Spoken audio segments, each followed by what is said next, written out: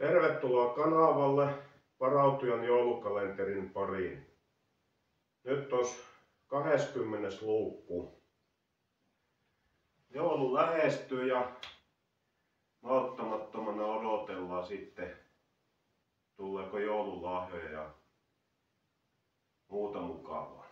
Mut katsotaan nyt ensin mitä mukavaa täältä löytyy. Täältä löytyy Saksan hirvisäilykettä sekä tämmönen vähän harvinaisempi säilyke. Tässä on leipää.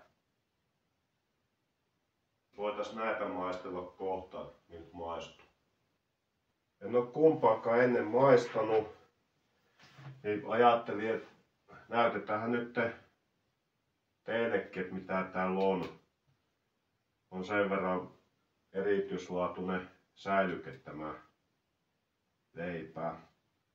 Tässä on niinku sadassa grammassa 198 kilokaloria energiaa ja tämä paino on 385 grammaa. Ja mihin tää on oikein käyttökelpoista.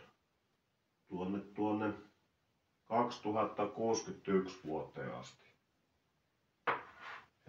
aika kauan kestää, jos ei avaa purkki.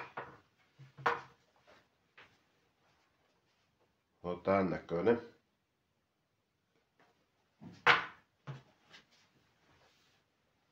Sitten tämä toinen on Saksan hirvisäilyke. Tässä on energia sadassa grammassa 270 kilokaloria. Tää on tuonne 2025 elokuulle asti parasta ennen päiväys.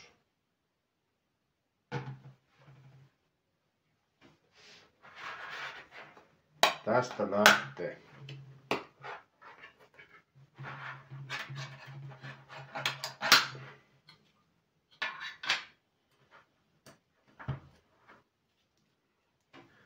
Täältä löytyy joku kosteudesyönti, eikö hapesyöjä pussi. Myö ei syyä sitä kuitenkaan. Leipä on ton näköistä. Ja tuli semmonen jännä leivätuoksu.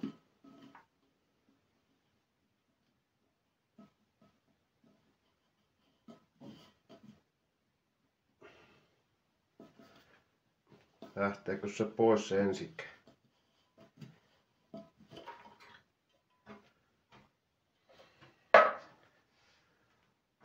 Ton näköistä leipää. Pitää maistaa kohta. Vaataa tää lihasäilyke myöskin.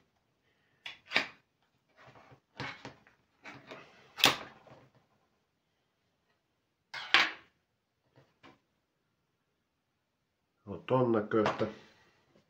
No niin, nyt ei muuta kuin leikkaamaan leipää.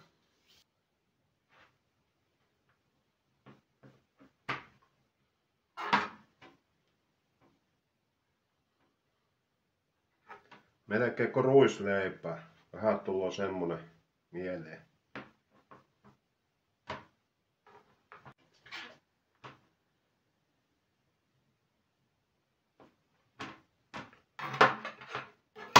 Hyvin leikkaantuu kyllä.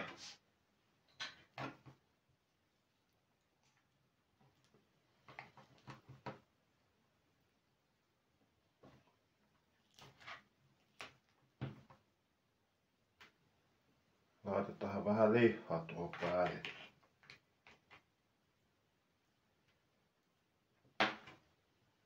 Noin.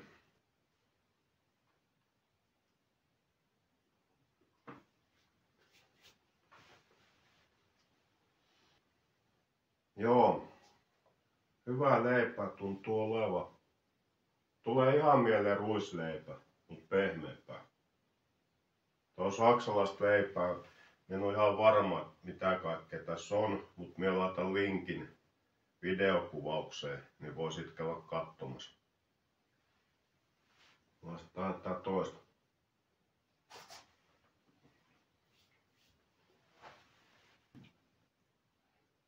Joo, hyvin kyllä sopii tuon leivän.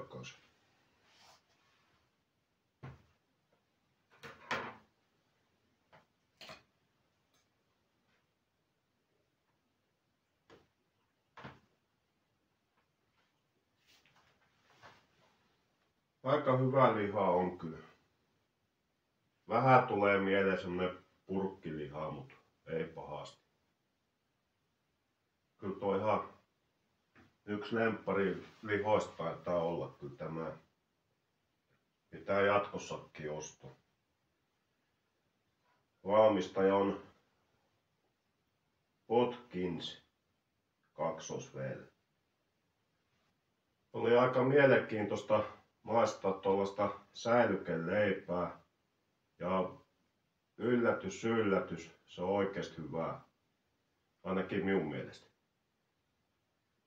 Saa semmoista vähän pientä vaihtelua näihin purkkiruokiin. Välillä joutuu näitä syömään, niin ihan hyvää vaihtelua. Mutta tosiaan, niin minä laitan sinne videokuvauskenttään sitten linkin, mistä tämä saa ostettua. Jos joku haluaa tilailla, siellä on muitakin kaikki hyvin säilyviä ruokia ja muita, niin voi tilata ja katsoa sitten. Mutta me jatkan tässä ruokataukon niin jaksaa sitten seuraavan luukun parissa. Kiitos kun katsoit videon ja nähdään huomenna. Morjes!